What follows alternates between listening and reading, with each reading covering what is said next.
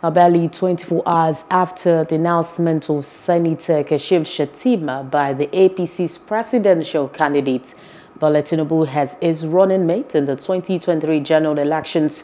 The Christian Association of Nigeria, Kaduna State Chapter, has rejected such a move.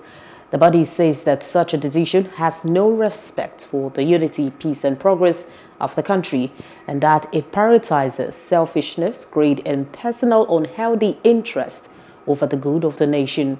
Plus TV correspondent Abela Darufai filed on this report as presented from our studios. Months after the primary elections that announced party flag bearers, the choice of running mate has been a tug of war as it has generated controversies from religious and regional bodies. Speaking in Kaduna, the state CAN chairman, who also doubles as the Northern Vice Chairman, Reverend Dr. Joseph Hayab, described the Muslim Muslim ticket as an insult to the Christians in that political party.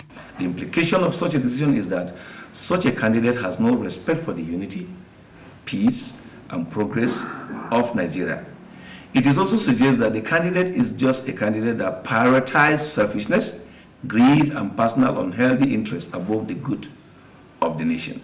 The federal character principle that a particular group occupy major ministries in the nation. Well, clearly we know many have just cause to argue that leadership in Nigeria in the most recent past is with the high ethnic nepotism. Well, one can rightly say that what we are seeing is another phase of this religious nepotism.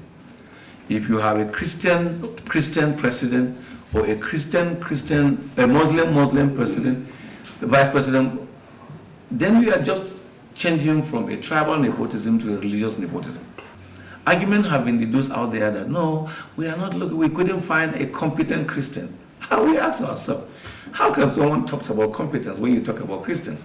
The fact of all that in the north of Nigeria, if you are looking for the best brain, if you choose 10, eight of them will be Christians. We are just trying to say that what has happened is condemnable, it is not right, it is not proper, but it has given us with a good option that we have a choice.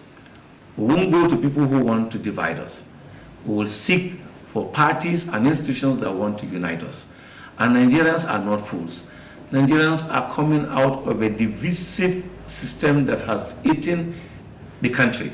Nigerians are struggling to come out of a system that is so skewed one-sided to the extent that sometimes Nigerians will tell you that the security architecture of this country is virtually of one tribe and one religion having the highest percent.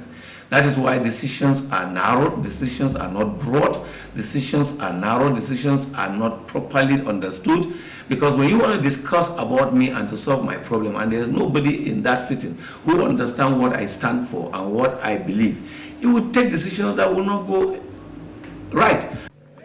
The Apex Religious Body says every political party must be able to educate, sensitize, and mobilize their faithful followers to vote against anything that is being considered as a danger to the unity, peace, progress and development of the country. Hello, hope you enjoyed the news. Please do subscribe to our YouTube channel and don't forget to hit the notification button so you get notified about fresh news updates.